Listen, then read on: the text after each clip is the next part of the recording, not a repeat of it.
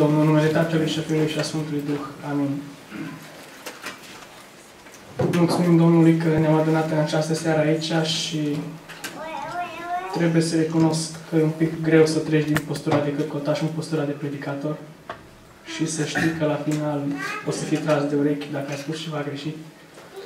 Dar în această seară aș vrea să ne uităm la un om al lui Dumnezeu care atunci când a greșit și-a asumat greșeala pe care a făcut-o, a recunoscut înaintea Domnului că a greșit și Dumnezeu l-a iertat. Aș vrea în această seară să deschidem Cuvântul lui Dumnezeu în carte, la cartea 1 Samuel, capitolul 17 și să vedem lupta dintre David și Goliat.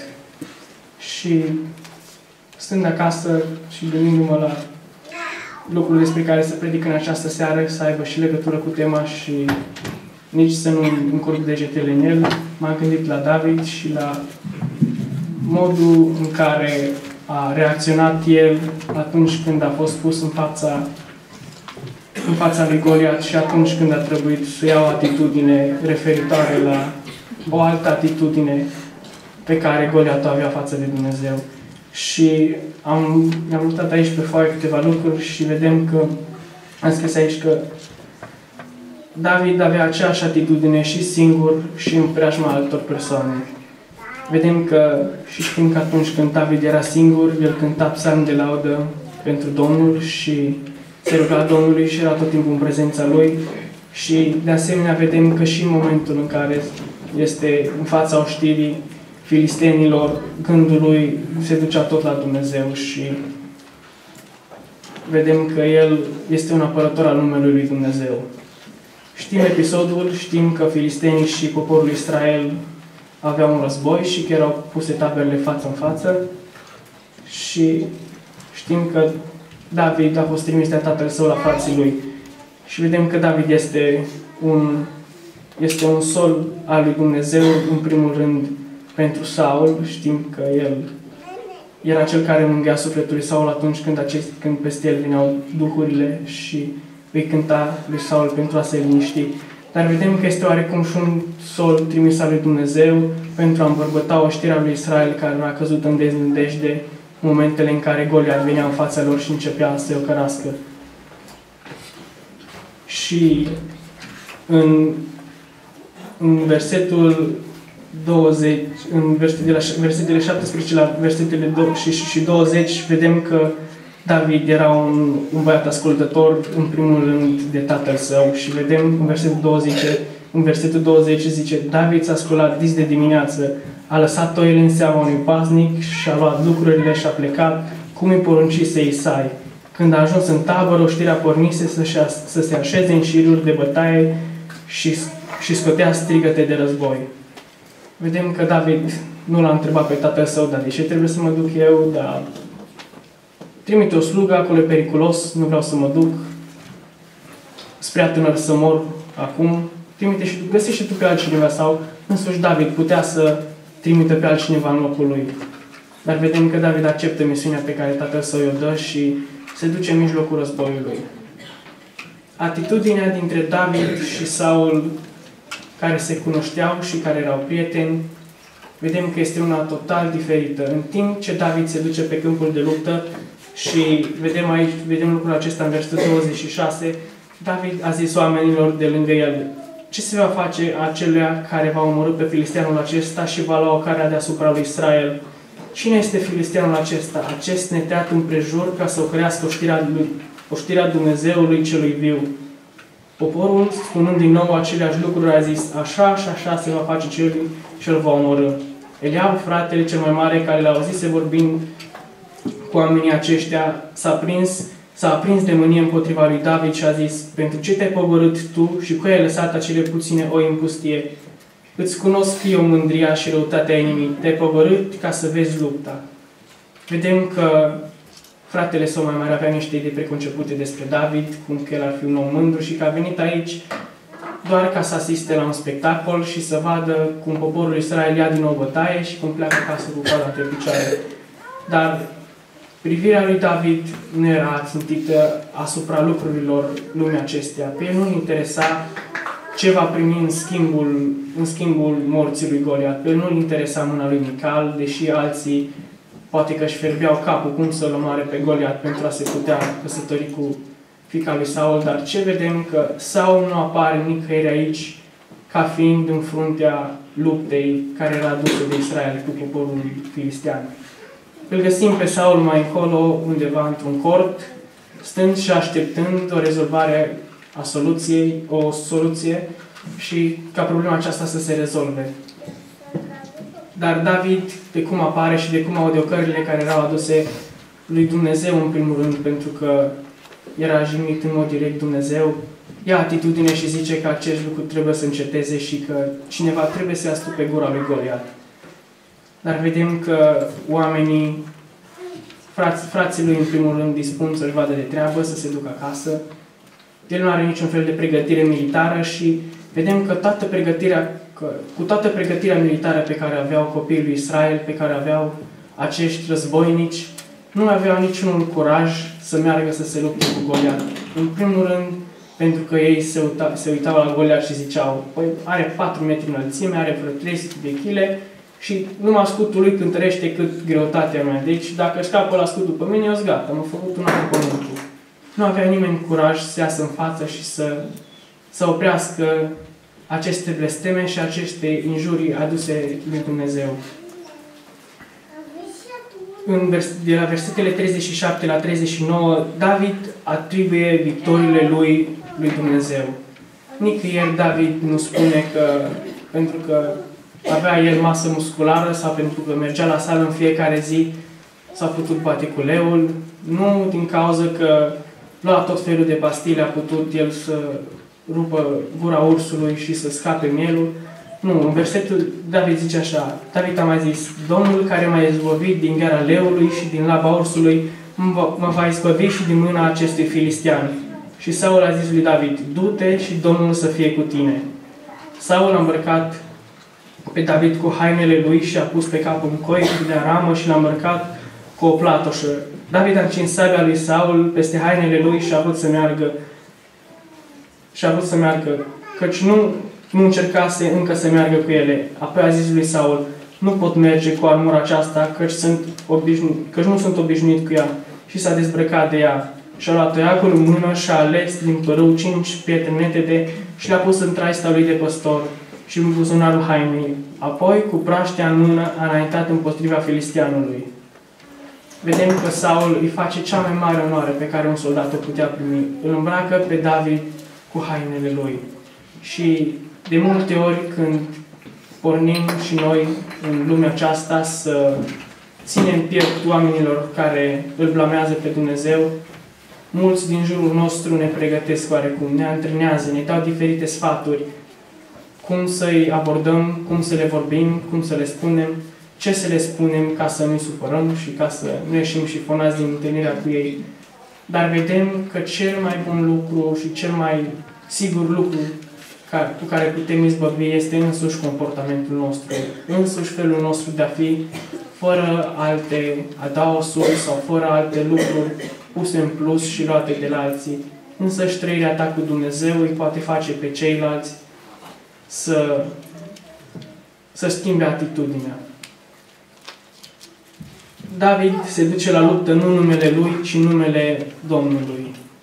Când de multe ori în lumea aceasta când Dumnezeu este înjurat sau când alte lucruri se întâmplă, ne simțim noi jigniți și reacționăm pentru noi, nu, nu numele Domnului. Și ne simțim noi jigniți și atunci, în momentul imediat următor, reacționăm.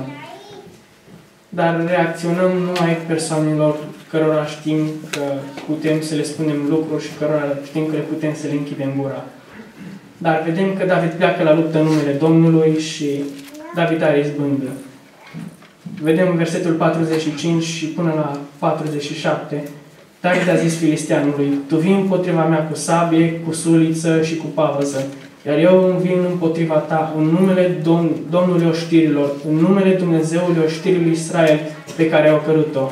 Astăzi Domnul te va da în mâinile mele, te voi dobărâ și îți voi tea capul. Astăzi voi da stârvurile tale filistenilor, stârvurile Voi tăia capul astăzi, voi da stârburi, stârburile taberei filistenilor, păsărilor cerului și fiarelor pământului și tot pământul va ști că Israel are un Dumnezeu.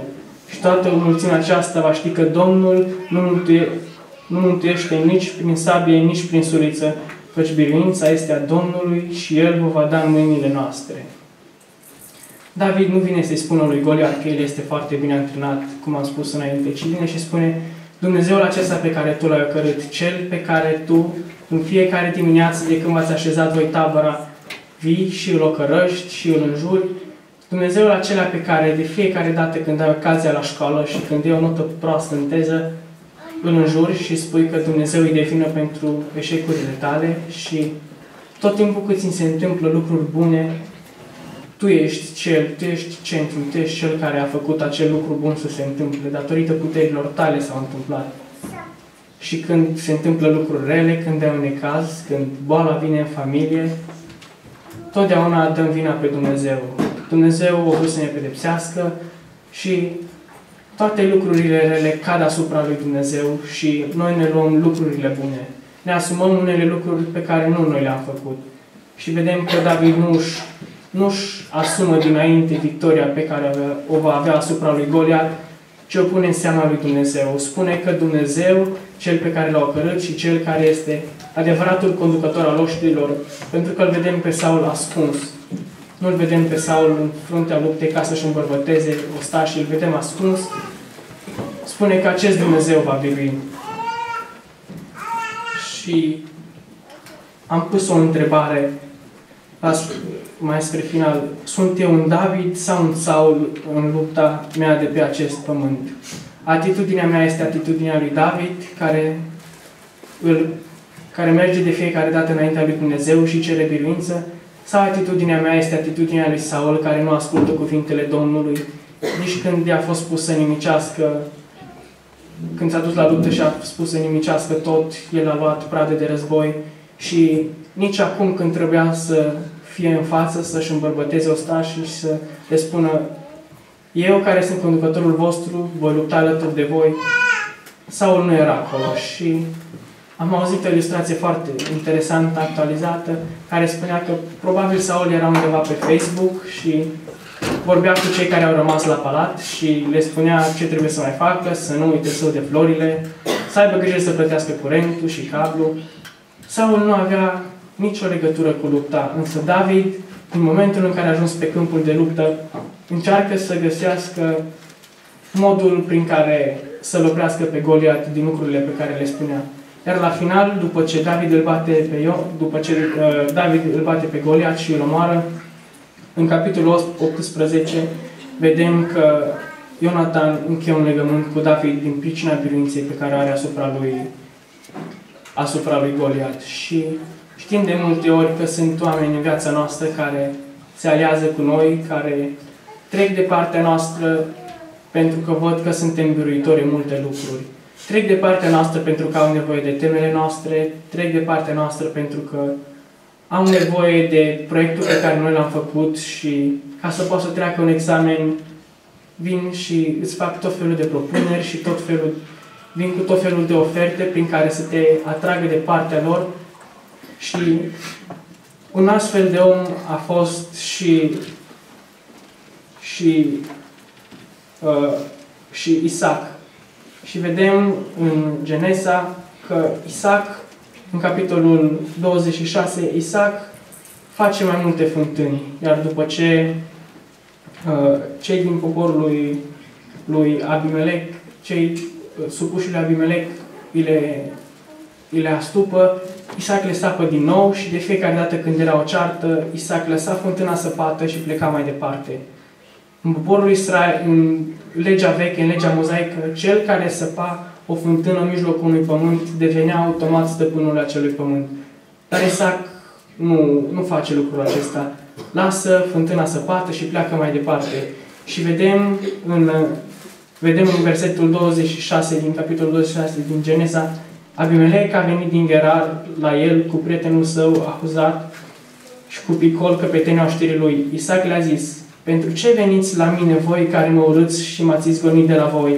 Ei au răspuns, Vedem lămurit că Domnul este cu tine. De aceea zicem să fie jurământ între noi, între noi și tine și să facem un legământ cu tine.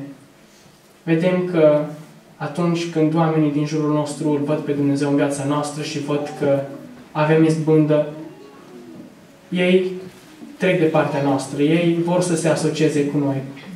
Dar pentru a face lucrul acesta, fiecare dintre noi trebuie să fie un trimis al lui Dumnezeu, așa cum a fost David. Trebuie să știm să îmbărbătăm în momentele în care cei din jurul nostru au nevoie de o mângâiere. Trebuie să știm să acceptăm anumite provocări din partea lui Dumnezeu pe care le trimite în viața noastră în fiecare zi. Trebuie, poate, să facem lucruri mărunte, lucruri pe care cei din jurul nostru nu le mai fac, dar lucruri care arată prezența lui Dumnezeu în viața fiecăruia dintre noi. De la a ridica dintr-o leu și a lăsa un om mai în vârstă sau altcineva să stea jos, până a spune cu cuvântul tău, până a vesti cu buzele pe, pe Dumnezeu. Și vedem că David l-a vestit înaintea lui Saul prima dată cu buzele pe, pe Dumnezeu și a vestit puterea lui, iar făcând acest lucru, Duhul Domnului a coborât peste el și i-a dat putere și l-a, și l-a învins pe Goliat. Căutând în tot felul de locuri să văd cât de bine era echipat Goliat, pentru că vedem că este descris amănunțit, singur, singurul loc care nu era protejat era fruntea și era singurul loc vulnerabil, precum era călcâiul lui Ahile. Era singurul loc în care David îl putea lovi și singurul loc care putea să-i provoace moartea lui, lui Goliat. Și vedem că Dumnezeu a trimis acea piatră exact la locul la care trebuia să o trimită pentru ca Goliat să moară. Și Dumnezeu ne dă armele potrivite, Dumnezeu ne dă gândurile potrivite și ne dă și circunstanțele potrivite pentru a-L vesti pe El și pentru a arăta mărăția. Tot ce trebuie să facem este să venim ca și David și să ne punem în slujba Lui, să venim să spunem, Doamne, eu astăzi să leg la școală, dar am nevoie de Tine ca sprijinitor și ca Domn al vieții mele. Am nevoie ca Tu să vii și să fii cu mine în orice vreme.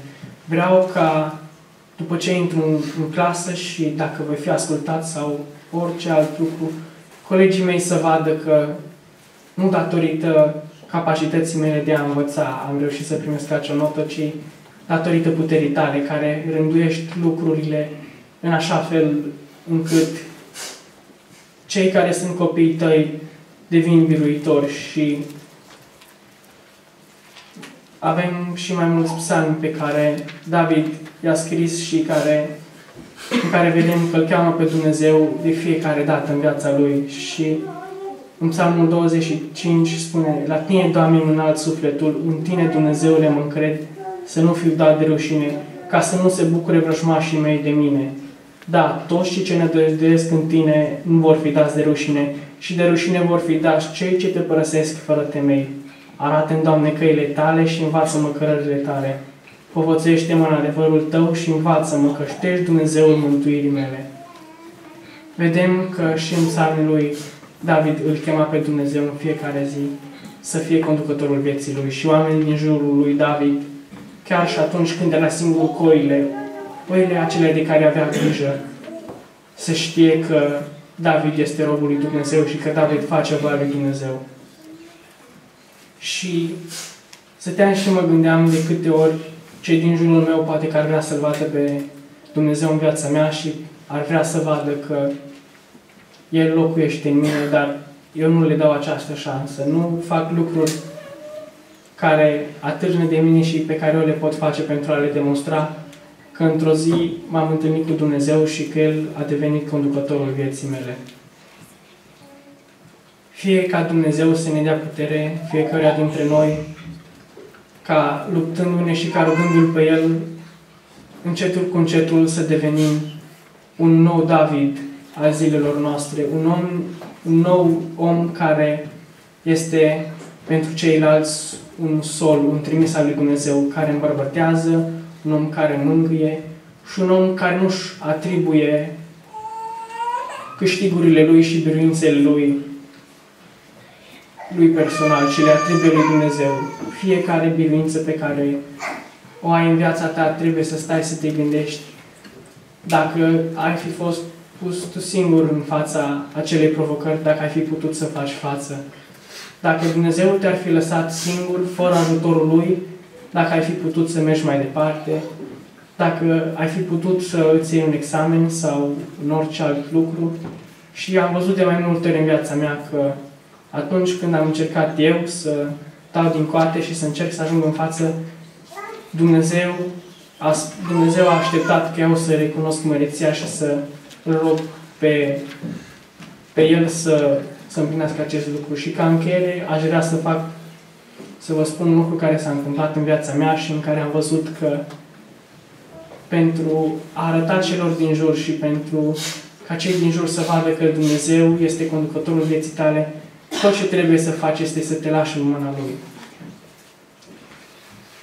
Am, fost, am vrut să plec acum un an și ceva la un majorat în Alba și am dat, poate că nu chiar sute, dar cred că zeci de telefoane sigur am dat în stânga și în dreapta, încercând să-mi conving părinții să îmi dea voie să plec, încercând să găsesc un loc într-o mașină, ca să ajung acolo și mai apoi ca să mă pot întoarce. Și toată zbaterea mea a durat de luni până vineri seara. Cel mai complicat lucru era că dimineața aveam o olimpiadă și că trebuia să fiu acolo neapărat și toată lumea pleca la Alba de vinerea. Și vine când am văzut că nu se mai poate, că părinții nu mai îmi dau voie să plec, că toți banii de care am reușit eu să fac rost de la bunici și de la unchi, mătuși și toți prietenii pe care am avut în telefon și mi-am adus aminte că există, că am strâns și am acolo pentru benzină, am văzut că Părinții mei nu m-am dat voie și mi-au spus, nu mai treci nicăieri, rămâi acasă. Și eram foarte supărat și atunci am zis, Doamne, știi că eu îmi doresc să ajung acolo, știi că asta e dorința pe care o am. Te rog să lucrezi tu în viața mea și să le arăți celor din jurul tău că tu ești Domn și Dumnezeu cu adevărat. Asta se întâmpla în jurul orei șapte. Nu după mult timp sună tati și mă era foarte tare că de ce am sunat în Alba și că de ce am încercat să-i conving pe cei de acolo să-l sune pe el, ca să-l convingă, să mă pot duce și tot felul de povești pe care părinții le au atunci când cineva intervine pentru tine. Și știm foarte bine lucrul acesta.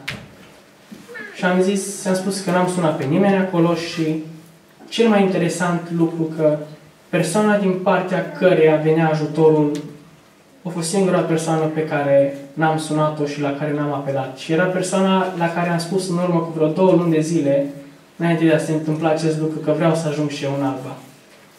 Și se făcea că și persoanele respective aveau curs până la ora 12 și ne-am înțeles să plecăm și n-am plătit nici benzina. Am mai rămas și până duminică seara, deși trebuia să mă întorc sâmbătă. Și am văzut că nu datorită telefonelor pe care le-am dat și nu, și nu datorită faptului că am plâns la telefon la maică mea să-l convingă, am scos și o artileria grea. Am sunat-o pe mama să vorbească cu tata, cum s-a întâmplat și în seara asta, de fapt. Și așa suntem noi. De fiecare dată când tații zic nu, apelăm la mama, pentru că ea are mai multă intrare la tata și poate să o convingă și am văzut că după ce mi-am epuizat toată energia și după ce nici mama nu mai putut face nimic, nici bunica, l-am pus pe Dumnezeu la treabă. Deși nu e cea mai bună soluție să lași pe Dumnezeu, să, să lași pe Dumnezeu în ultimul moment, dar de multe ori El îmi vede acest lucru pentru a vedea că unele lucruri și unele evenimente din viața noastră nu se pot întâmpla fără voia Lui și nu se pot întâmpla decât dacă El decide și cât da, decât dacă El este de acord cu aceste lucruri. Ca și o încheiere, aș vrea să vă spun că de fiecare dată când vreți să faceți un lucru, veniți înaintea Domnului, cereți ca El să binecuvinteze ceea ce voi vreți să faceți și cereți precum David, ca fiecare dimineață să pornească cu voi pe drumul pe care l-ați ales. Și Atribuiți câștigurile voastre lui Dumnezeu pentru că El este singurul care face posibil acest lucru. Dumnezeu să ne ajute ca fiecare dintre noi să fim lumini și cei din jurul nostru să vadă că întâlzi ne-am întâlnit cu El. Amin. Slavă Tatălui și Fiului și Sfântului Duh. Amin.